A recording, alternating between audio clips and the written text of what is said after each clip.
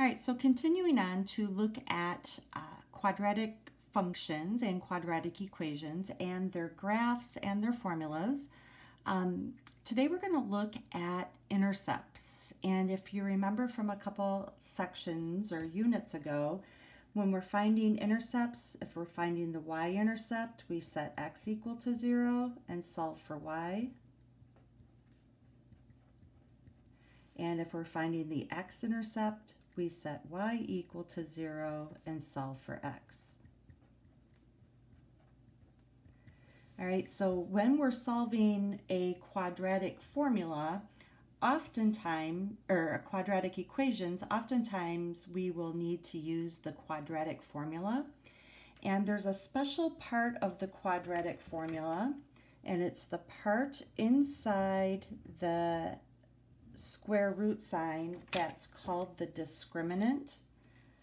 Discriminant. And it is the part inside the root sign b squared minus 4ac. And that part of the quadratic formula will help us to determine how many x-intercepts are we looking for. So if I were to plug in the values, remember the values come from the coefficients of x squared bx and our, our constant value.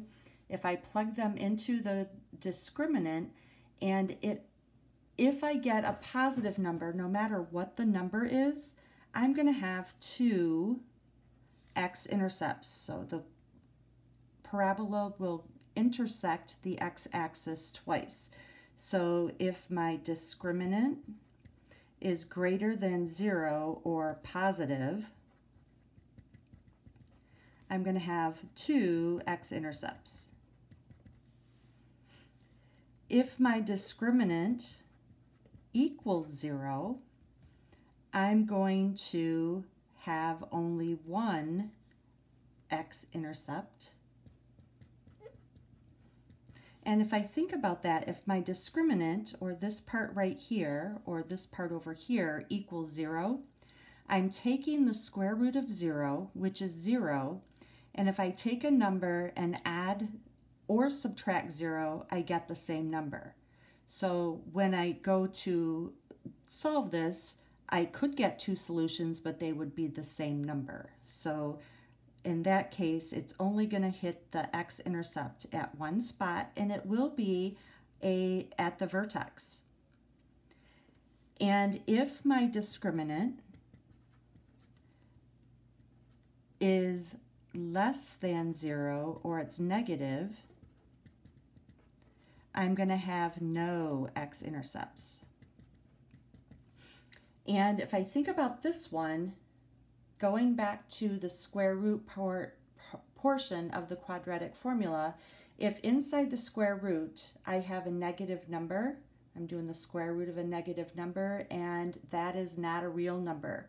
So I would be using i's, and I would have an imaginary solution here.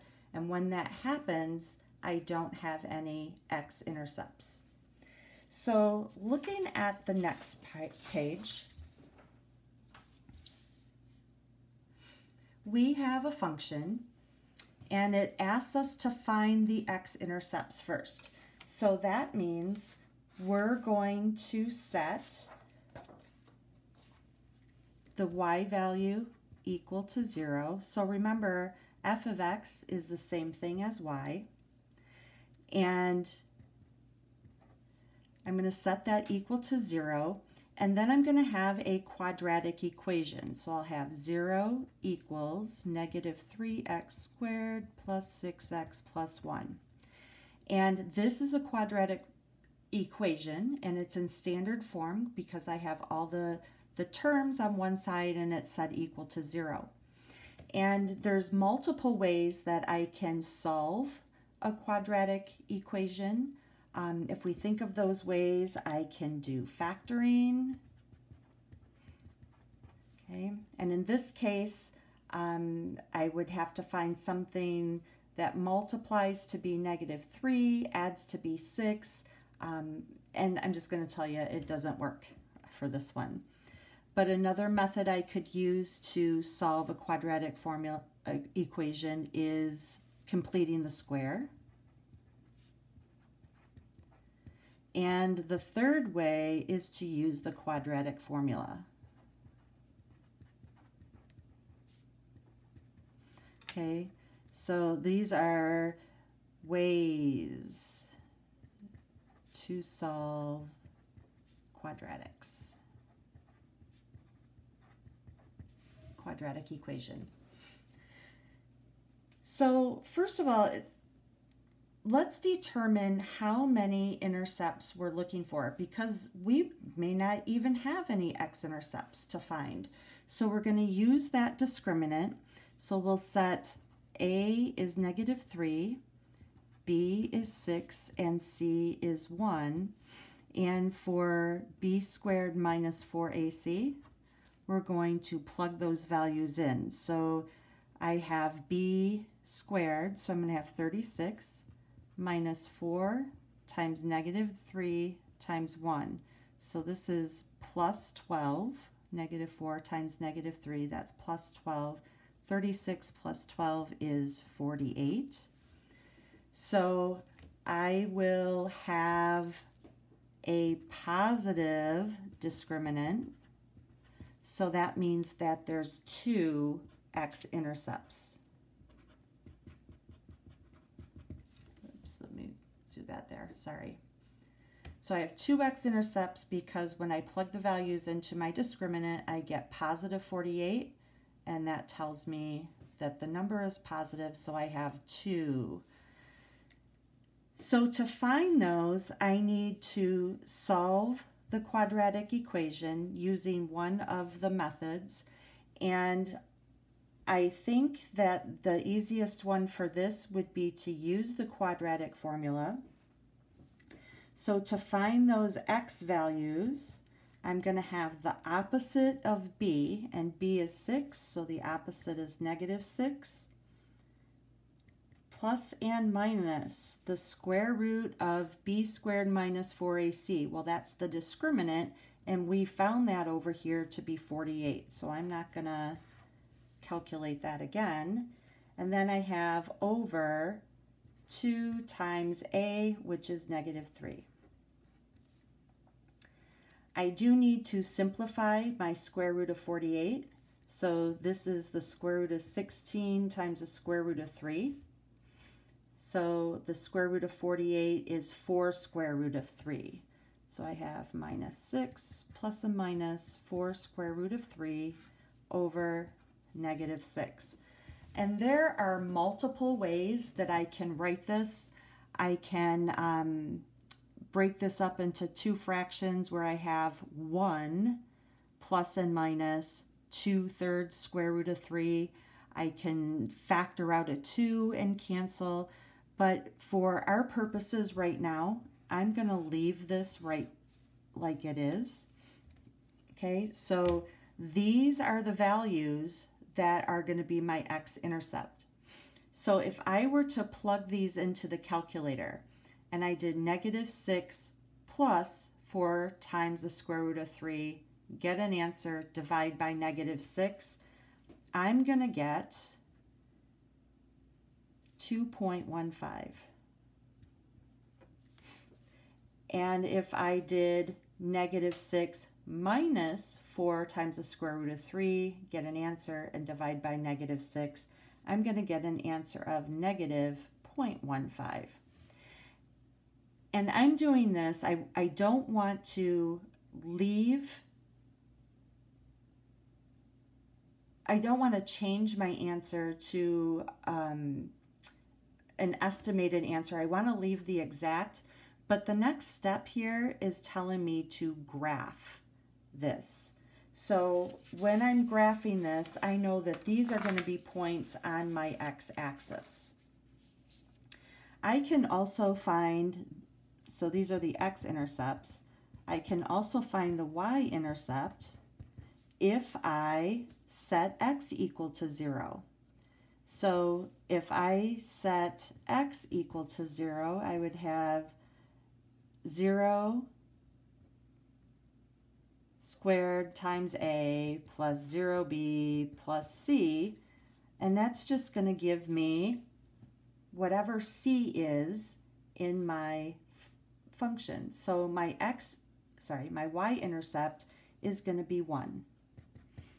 Okay, so my y-intercept is 1. That's going to be important in a minute as well. So to be able to graph this, I need to know where my vertex is. And my vertex from, yes, uh, from the last part of this section is going to be from the x coordinate or the h value is minus b over 2a and the y coordinate of the vertex or the k value is going to be to plug this back into the function so it's going to be f of minus b over 2a whatever that number is so if I were to find my h value I'm going to take the opposite of what b is. So I'm going to go back up here. b is 6, so I'm going to have negative 6 over 2 times a is negative 3. So this is negative 6 over negative 6, which is 1. So my vertex is going to have an x-coordinate, sorry, an x-coordinate of 1 and my k value will come from when I put 1 into my function. So if I rewrite this, k is going to be negative 3 times 1 squared plus 6 times 1 plus 1. So that's negative 3 plus 6 is positive 3 plus 1 is 4. So my vertex is 1, 4. So if I graph this,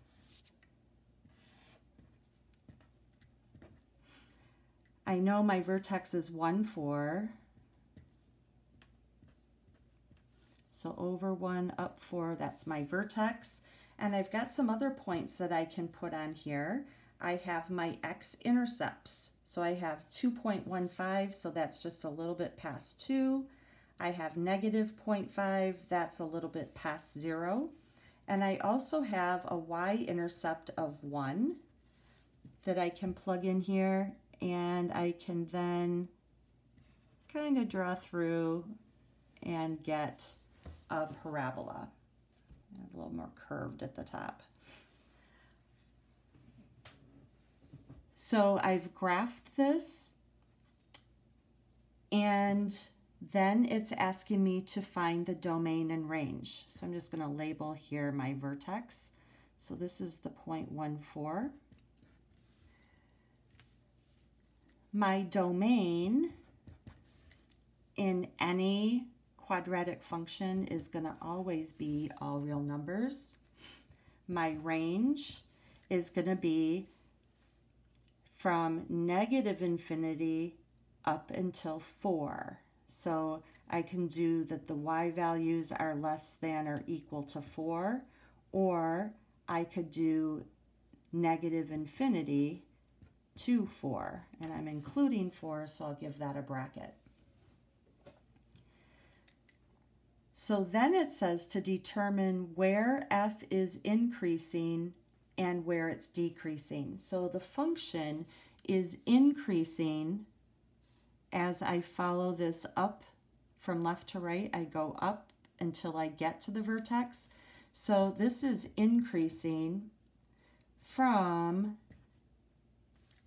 the x values here all the way up to 1. So from negative infinity to 1, so negative infinity to 1, and it's decreasing from 1 down to infinity.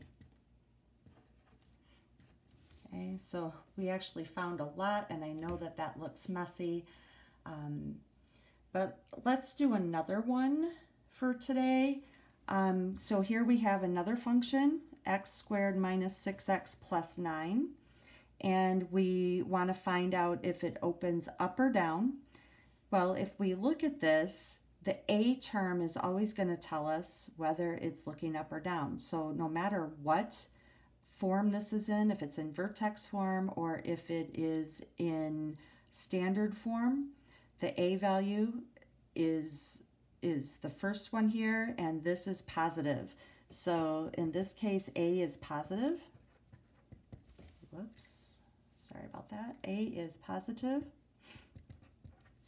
So it's going to open up and it asks us to find the vertex. So if I look at this and find the vertex, I need minus b over 2a. So if I label a is 1, b is negative 6, and c is 9, I have the h coordinate being minus b, so I have the opposite of negative 6 is positive 6, over 2 times a, which is 1. So 6 divided by 2 is 3.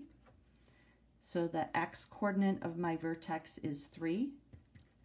The k value is going to be take 3, plug it back into the equation.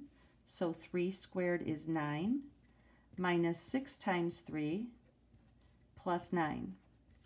So this is 9 minus 18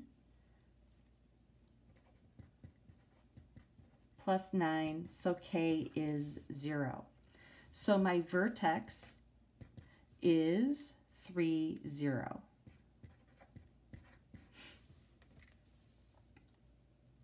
So we found the vertex, the axis of symmetry, just looking at my vertex, axis of symmetry would be the vertical line going through the x coordinate of 3. So that would be the line x equals 3.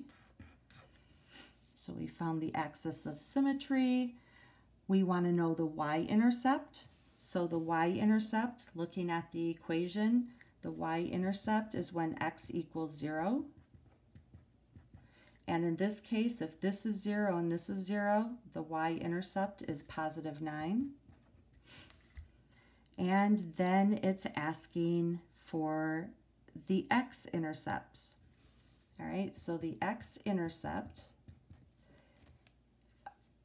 remember that's when we set f of x equal to 0,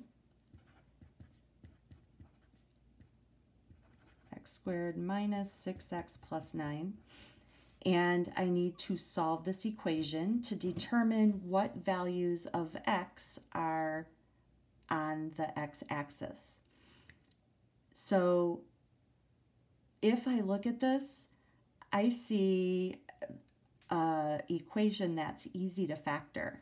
And I can do this, numbers that multiply to be 9 and add to be negative 6. That would be x minus 3 and x minus 3. So we see here, these are the same value. So if I solve for x, x equals 3. So there's only one x-intercept.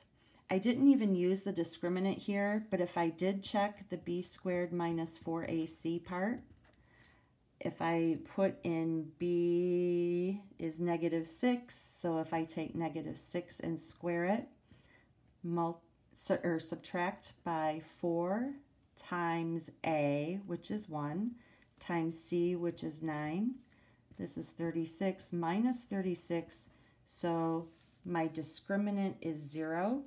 And if we look back on the page before, bring that back in here, if my discriminant is 0, I'm going to have one x-intercept, and that would be my vertex. So we already saw that over here, that my vertex is 3, 0, and that is my only x-intercept.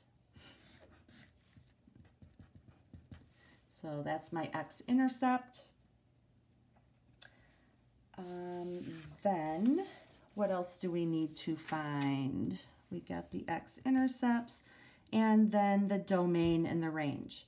Well, always in a quadratic function, the domain is going to be real numbers. And the range, if you would rather look at this, I'm going to have a vertex at 3, 0. I know it's going to open up. So my range is the y values that are greater than or equal to 0. So y is greater than or equal to 0 or using um, the other notation, I have neg, I have, ooh, I start at 0 and then I go up to infinity. So 0 to infinity would be my range.